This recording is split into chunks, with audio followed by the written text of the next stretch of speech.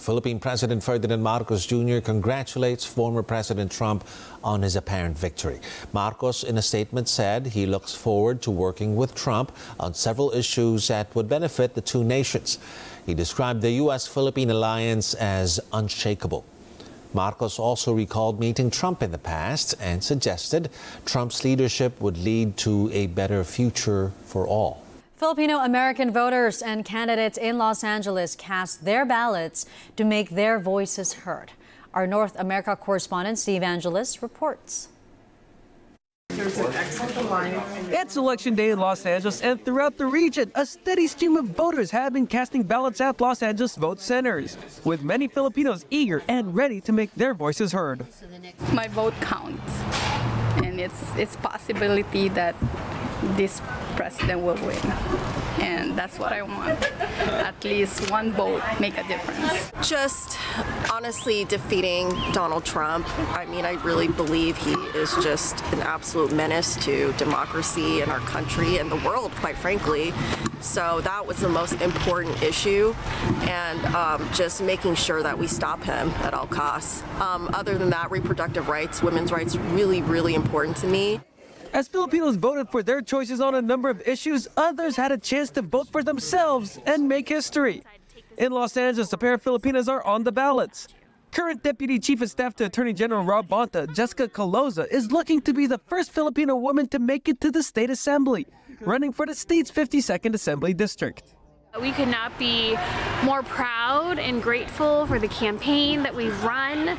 Um, we didn't do this work alone. We did this with the support of hundreds of volunteers and people in the community. We have all come together for this one day because we need to make sure that every single voter in this district in California go out to vote. And for me, it's my first time running for office, running for State Assembly District 52.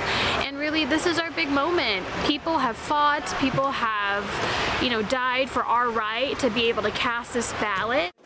On a more local level, tenants' rights advocate and attorney Isabel Jurado was looking to become the first Filipino to serve on the Los Angeles City Council, hoping to unseat embattled incumbent Kevin De Leon in the 14th District.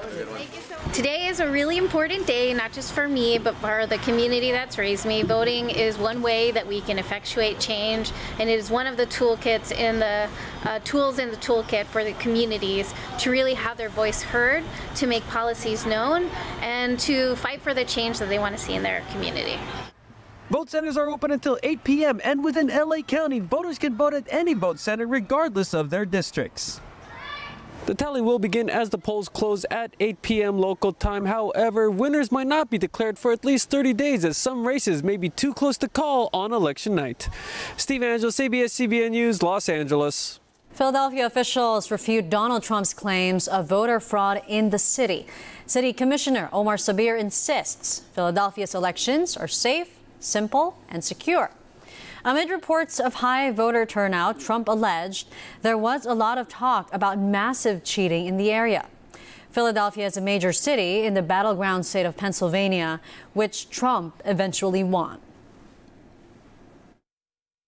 I don't want to say anything, Donald Trump. Only thing I want to say is us, citizens of Philadelphia, you're going to get the election that you deserve, and you have always been having accurate results and honesty. And we have great citizens here working to do their job.